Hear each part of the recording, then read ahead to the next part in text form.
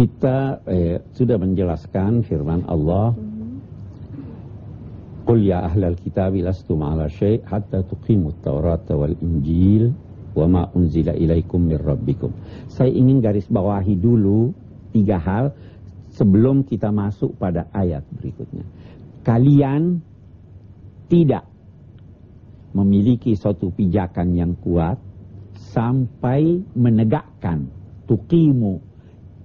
Ika, tukimu itu artinya menegakkan secara sempurna. Apa?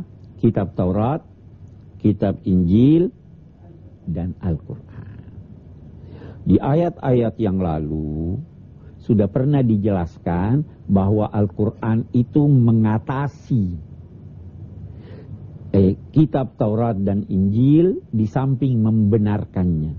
Sehingga kalau ada di dalam kitab Injil sesuatu ketetapan hukum atau apa pun yang berbeda dengan Al-Quran, maka yang harus dijalankan adalah Al-Quran. Ya kan? Oke. Okay. Kalian tidak ada artinya sama sekali, tidak memiliki pijakan apa-apa kalau tidak menegakkan Taurat, Injil, dan Al-Quran. Bagus. Kita sekarang baca ayat berikutnya.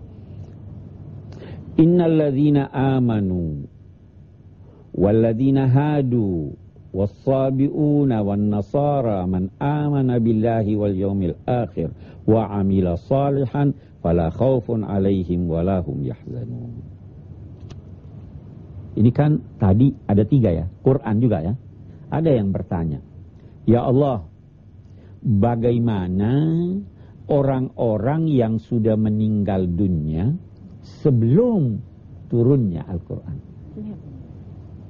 Ah, itu satu. Ada lagi yang berkata begini. Ya Allah, ini orang-orang yang sekarang menganut agama Yahudi, agama Kristen, eh, eh penyembah bintang dan lain-lain sebagainya. Bagaimana nasib mereka?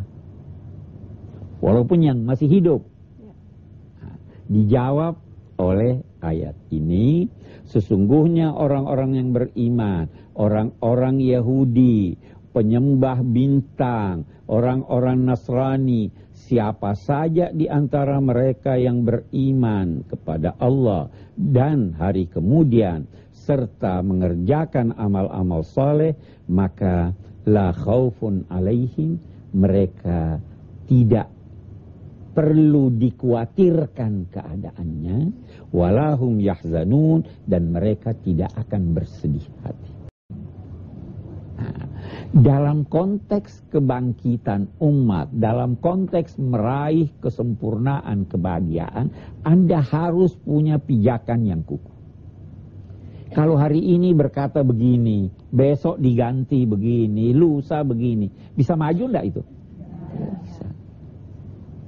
Nah, ayat ini menyatakan, hai ahlul kitab, orang Yahudi dan Nasrani, kalian itu kalau tidak menegakkan tuntunan Taurat, Injil, dan Al-Quran, kalian tidak punya arti apa-apa, karena kalian tidak punya pijakan.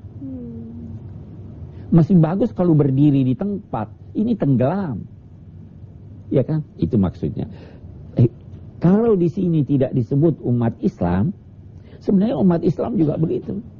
Kalian tidak ada artinya sama sekali kalau tidak memperhatikan tuntunan Al-Quran. Bangsa tidak ada artinya sama sekali kalau tidak punya nilai-nilai moral yang dijadikan pijakan dalam bertindak, dalam berfikir, dalam melakukan sesuatu. Itu maksud ayat ini. Lastum ala syai' hatta tuqimut Taurat wal Injil wa ma unzila ilaikum.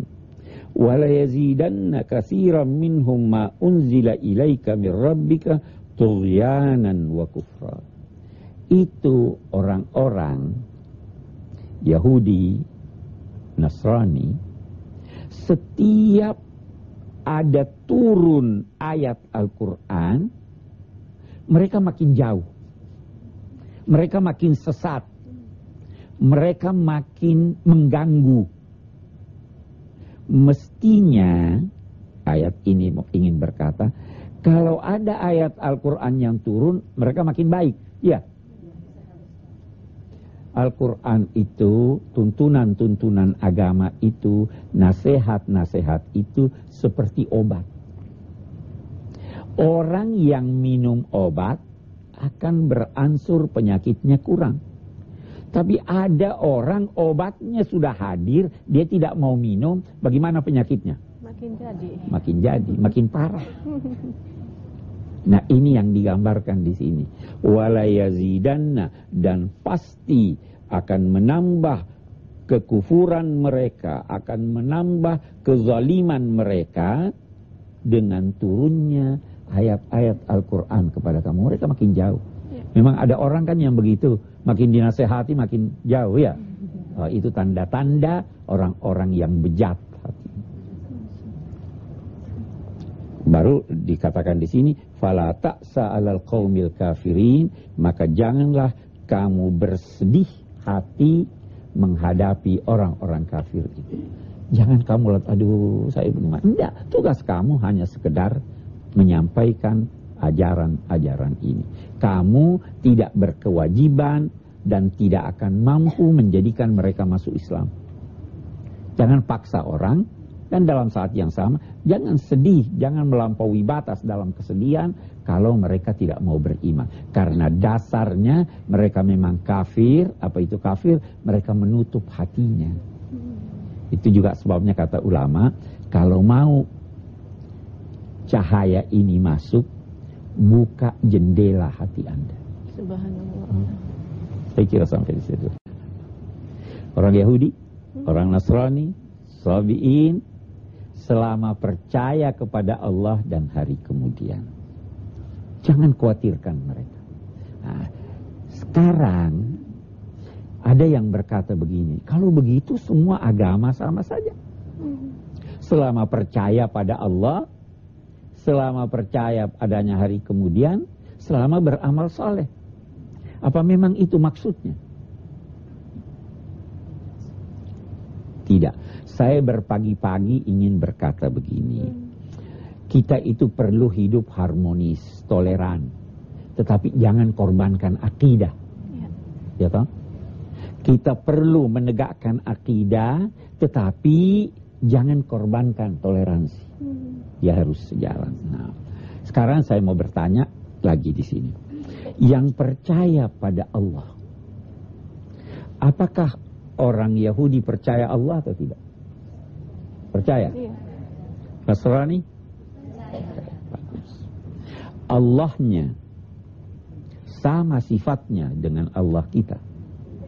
Nah, kalau saya berkata pada ibu, saya mengundang Ahmad ke rumah saya pada hari Minggu. Apa semua yang namanya Ahmad saya undang? Apa setiap hari Minggu? Nah, kalau begitu kita tanya di sini, ya Allah, siapa yang kamu maksud percaya pada Allah? Siapa Allah itu ya Allah? Apa jawabannya Allah dalam Al-Quran? Ya Allah itu Qul huwallahu ahad. Yang tidak mengesahkan Allah sesuai dengan tuntunan Al-Quran, maka mereka itu tidak dinamai oleh ayat ini atau tidak dimaksud oleh ayat ini dengan Allah. Ya kan? Jadi ini teman-teman saya nih yang eh, ini, oh itu sama saja semua agama ini. Saya bilang kalau begitu kabur tidak. Yang dimaksud dengan Allah di sini adalah Allah yang dilukiskan oleh Qul huwallahu ahad. Yang digambarkan dengan percaya pada hari kemudian adalah yang dilukiskan oleh Al-Quran. Kembali lagi, ingat yang tadi ayat sebelumnya, percaya pada Taurat, Injil, dan Al-Quran. Kalau dia tidak percaya Al-Quran, tidak termasuk di sini.